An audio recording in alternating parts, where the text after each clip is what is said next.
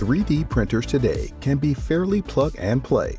Unlike most other advanced manufacturing tools, they don't require a dedicated technician, and anyone can learn how to operate them in a few minutes.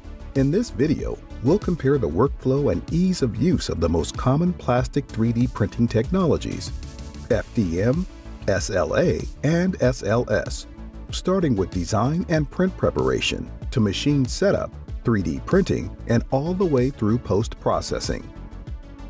Before you start a print, you need a detailed 3D model of your part. CAD modeling is a skill that takes time to master, but 3D design software is much easier to use than it was a decade ago, and there are more and more custom tools for specific workflows that don't require hands-on design skills. 3D printers offer almost unlimited design freedom. You can print complex designs with lattices, overhangs, non-line of sight geometry, intricate or organic shapes, thin walls, and tiny details. That said, there are still some design constraints. FDM has slightly stricter rules, while SLA and SLS allow you to print the most complex designs. To prepare your print, use a print preparation or slicer software to specify print settings and slice the digital model into layers for printing. This print setup step can be as simple as clicking one-click print in Formlabs print preparation software Preform, or as complicated as manually choosing print settings and fine-tuning material settings.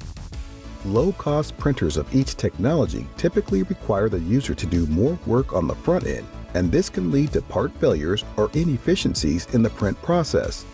Professional FDM, SLA, and SLS 3D printers often have the option of setting up your models automatically, relying on thoroughly tested settings and material tuning.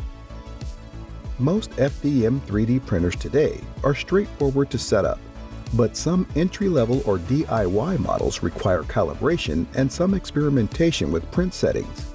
FDM printers can run prints unattended. Just make sure that there's enough filament on the spool to complete the print. With SLA 3D printers, lower cost models require calibration and some experimentation with print settings for each material. During printing, you might need to refill the resin tank as well. Advanced SLA printers like the Form 4 series have automated resin dispensing, so there's no need to refill the tank manually. And they also come with validated print settings for each material, as well as a number of onboard sensors for smart monitoring during printing to ensure reliable results. SLS 3D printers require more space, infrastructure, and time to set up and have a steeper learning curve for operation and maintenance. But more accessible, easy-to-use printers like the Fuse series have made SLS printing straightforward enough that anyone can operate them independently with a short training to 3D print, complete the pre-print checks, and then the printing process is automated. Post-processing is the final step of the workflow. Post-processing FDM 3D prints can be fast and easy under some conditions. For simple designs that don't require supports, you just need to remove the printed parts from the build platform. For more complex designs that are printed on supports, you can wash away soluble supports or remove hard supports by hand.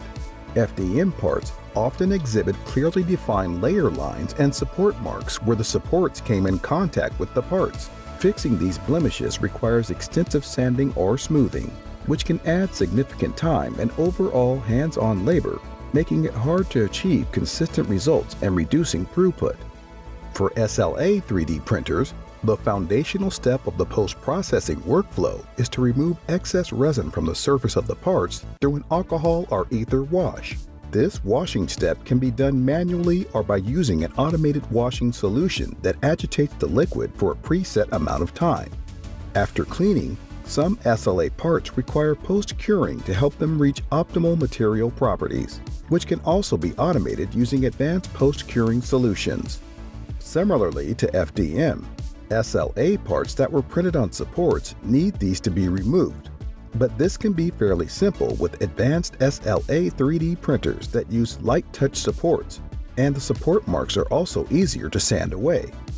The basic steps for SLS post-processing include removing excess, unsintered powder from the parts and media blasting to fully clean parts and smooth surfaces.